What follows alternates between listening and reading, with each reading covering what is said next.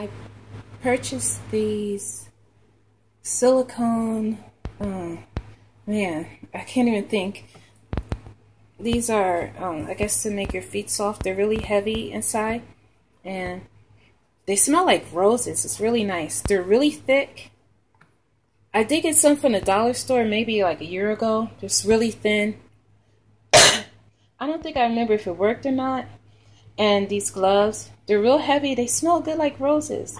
I think um, both of these were like $7 from China. Hear them? Quack, quack, quack. But anyway, I, I don't know. I was curious. It's something I wanted to try.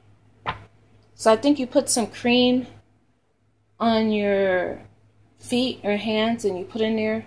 I guess you keep it on there. I don't know how long, but can sleep in them, I guess, and wake up with really soft hands and feet.